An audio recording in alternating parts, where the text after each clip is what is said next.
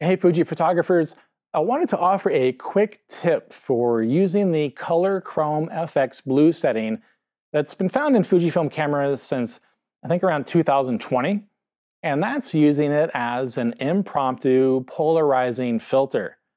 Photographers use polarizing filters primarily for two reasons.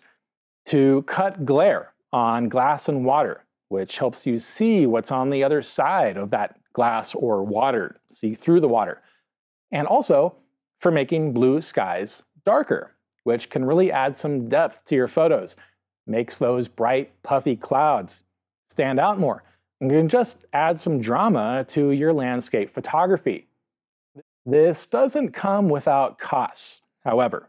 Polarizing filters reduce light transmissivity, meaning you'll need to use either higher ISOs, slower shutter speeds, or wider apertures than you normally would.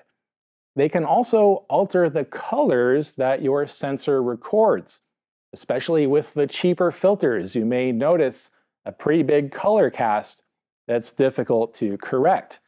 Then there's also the hassle of installing and uninstalling these filters whenever you want their effects.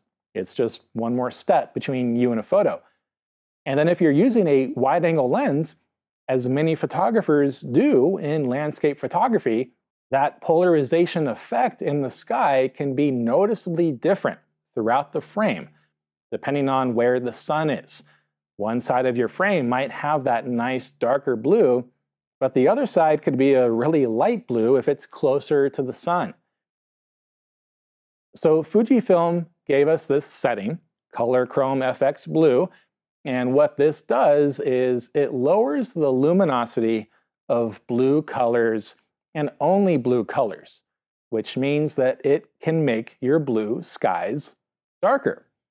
And because all of this is done in the camera, you won't have those issues that polarizing filters give you. So the transmissivity won't be affected. You won't have any other kind of color casts in other colors, and that effect the darker blue effect, will be uniform across the entire sky when using a wide-angle lens. There are two settings for Color Chrome FX Blue other than off. You can choose between weak and strong, and you can preview that effect in the live view as you're changing it. This effect will also be handled differently depending on the film simulation that you're using. For example, the effect may be more subtle with Eterna and Classic Neg because those blues are already desaturated, but it can be much more pronounced with Velvia, which has a lot of saturation to begin with.